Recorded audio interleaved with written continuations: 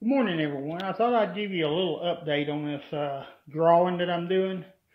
This is the uh, Kramer Triax. Uh, this really, this guitar Kramer made, it really never got out of the prototype stage. Uh, so there's really no guitars to uh, pattern it after other than pictures and, you know, just what you can see on the internet.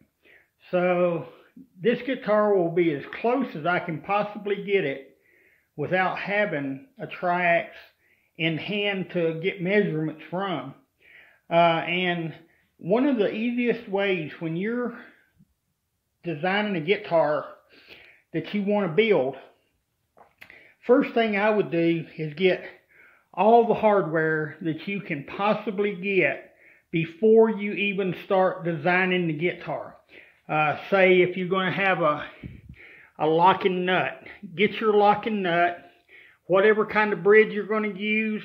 Uh, if you're going to use a, a Floyd Rose locking bridge, if you're going to use, say, a Tune-o-matic, whatever you're going to use, get it first. Uh, your pickups. Uh, that would be a great way to know when you route out the body that the pickups are actually going to fit properly into the body uh, tuners, so that way you know the tuners uh, won't bump into one another when you're designing the headstock. You know, like say if they were too close together, too far apart, too close to the edge, whatever, uh, you could use your tuners that you are going to use that you purchased as a pattern to go by. So you know, that way you would know exactly how it's going to look on the finished product before you actually start building the guitar itself.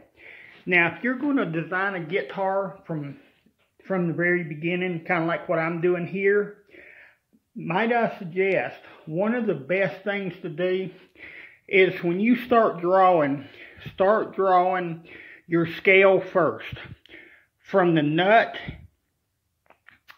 to the bridge, draw that part first.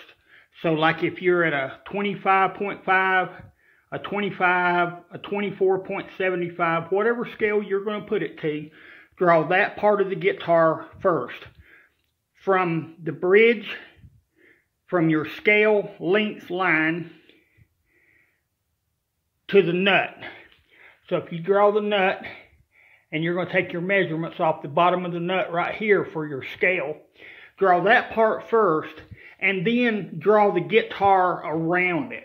That way you know the guitar is going to perform properly when you actually build the guitar and everything is going to come out like it should. And you can see I've got the body blank right here for the guitar. So that is a good beginning also uh, depending on what kind of wood you're going to use. Uh, maybe you're not even going to use wood.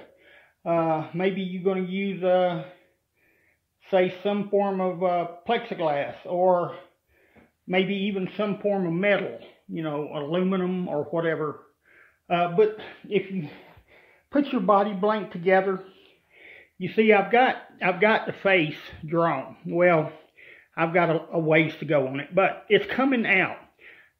Now, up here above it, right here, you'll see a real light line. That's where a section was going to be.